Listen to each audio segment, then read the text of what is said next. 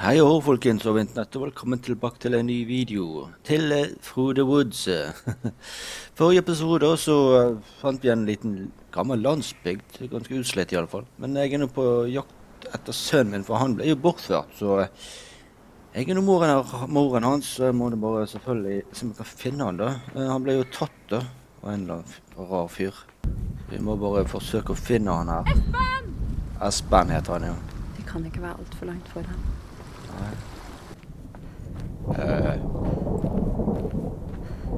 Ja, under torden. Det høres ikke bra ut. Kan, kan faktisk bli litt skummelt. da. Um,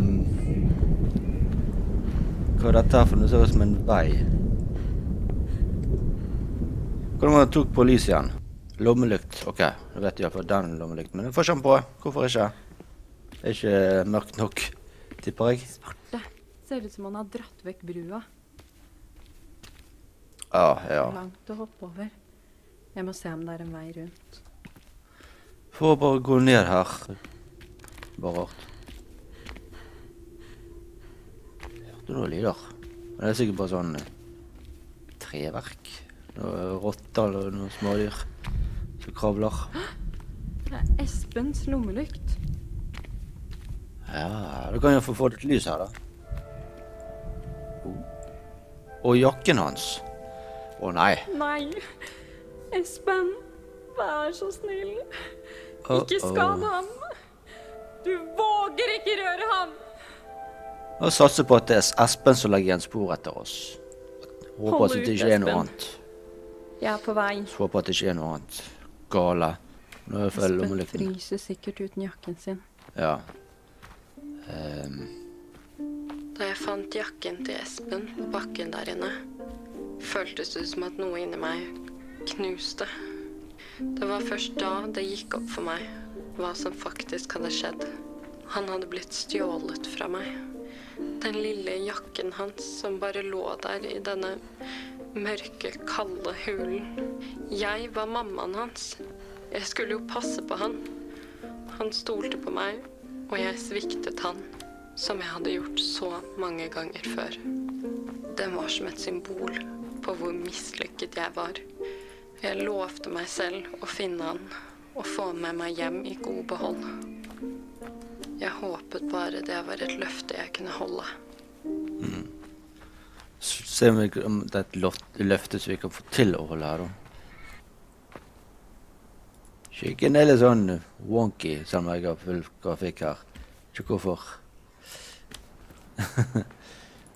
jeg tenker det kan være litt lurt å ha lyset på. Vil jeg tro. Wow. Hva har skjedd med månen der? Det ser ikke helt normalt ut. Eh, veldig mystisk, da. Her har vi en sånn stein. Jeg tror jeg har funnet ut hva dette er for noe. Jeg tror det er sånn checkpoint hvis, jeg, eh, hvis noe skulle skje meg at jeg dør. Så havner jeg tilbake her ved Tursvik stein. Men nå begynner det å bli mørkt her. Øh, ok. Det lover ikke bra. Espen alene med han tullingen. Hvem han enn er. Jeg tror dette er veien, for det her er jo det er noe borti der. Eller er jeg som tar feil? La oss se. Her er det også en vei. Uh, jeg ser noe borti oppi der, så la oss se her.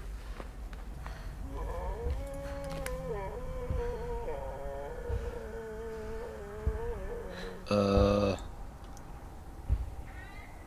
what? Oh boy. Oh boy.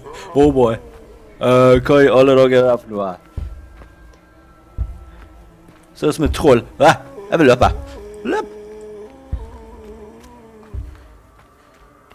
Hva i alle dager uh, OK, han er etter meg her. Jeg tror muligens han har sett meg.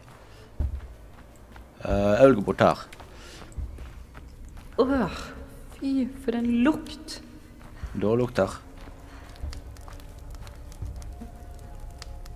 Han kommer etter meg, ser det ut til. Eh, ok, da har jeg bare lyst til å være i bevegelse her. Eh, jeg har ikke egentlig ikke lyst til å bruke så mye lys. Jeg vet ikke hvorfor. Et menneske. What? Oh shit. Kan jeg Ja, det kan jeg. Det bare dukker. jeg tror jeg er iallfall trygg for han nå. Kan jeg? Altså, han kan ikke krabbe inn under her. vel? Jeg håper han ikke kan det, altså. Å, boy. Det her begynner å bli litt sånn skummelt her nå. Hvor fører denne veien til, da? Ser ut til å gå ut et sted. Men hvorfor var det sånn skjelett inni der? Kan det være trollet som har vært og gnagd på det? Spist på det?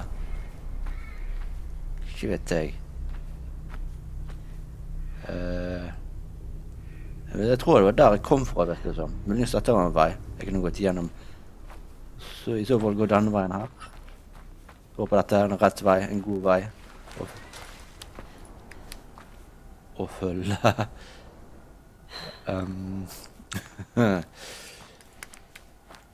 OK. Jeg vet ikke hvorfor jeg slår lo- lommelykten over på. Følge veien her ser det ut til uh, dette var stilig.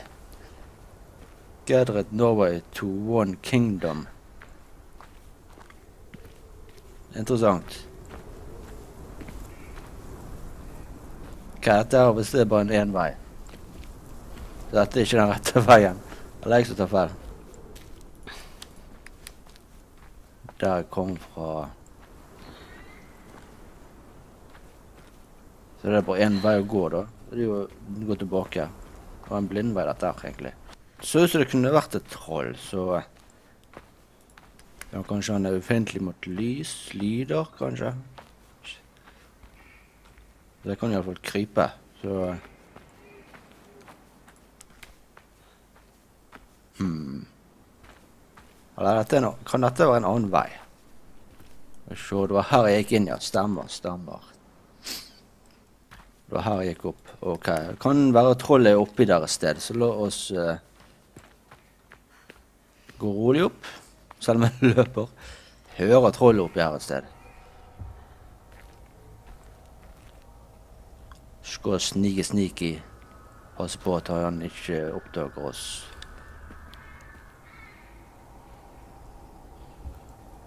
Er det trær? Det ser ut som det kunne vært noe annet, men det er jo faktisk bare trær.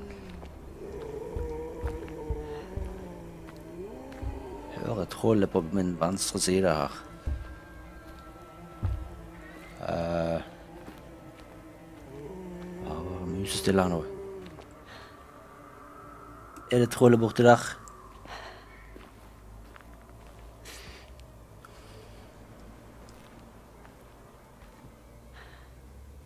Ja, det var der jeg kom fra. Vi må- Da har jeg lyst til å gå andre veien, egentlig. Gå rolig bort her. Eh, gå vekk fra trollet, iallfall. Så Jeg har lyst, bare lyst til å at dette var rette veien her nå. Har et troll bak meg, iallfall. Jeg føler meg litt mer tryggere nå å ikke høre trollet. Og så når trollet er langt bak meg. Ok, jeg tror jeg kan gå normalt igjen. Med lys. Og utforske. Det er Veldig, musikk til denne morgenen, altså. Hmm. Jeg vet hvordan det høres ut, men det er sant. Alt sammen. Det kan ikke forklares. Jeg kan knapt tro det selv. Men det skjedde faktisk. Den måneden. Da jeg var liten, fant jeg et bilde av foreldrene mine i en gammel skoeske. Jeg lette egentlig skjul etter julegaver. De så så unge og forelsket ut før jeg ble født. Jeg husker godt at de så ut som noen andre personer enn de jeg trodde jeg kjente. Det var liksom noe veldig annerledes med dem jeg ikke helt kunne sette fingeren på. Det var som å løfte et slør av noe som egentlig ikke var ment for mine øyne.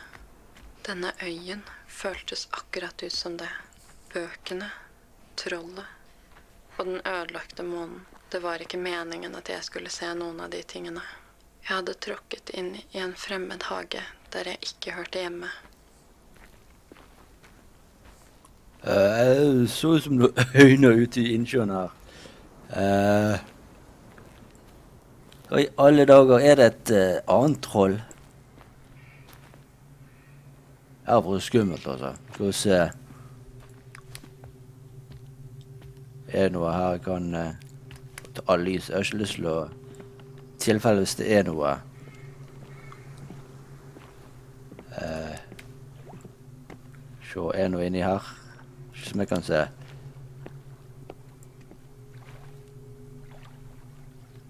Det er troll.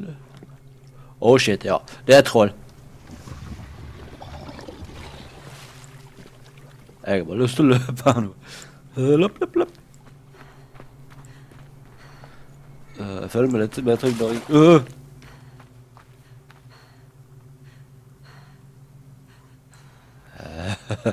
Jeg har bare lyst til å løpe her, altså. Her er det enda en refleks. Espen, du er i live. Ja. Hold ut, lille mann. Jeg skal finne deg.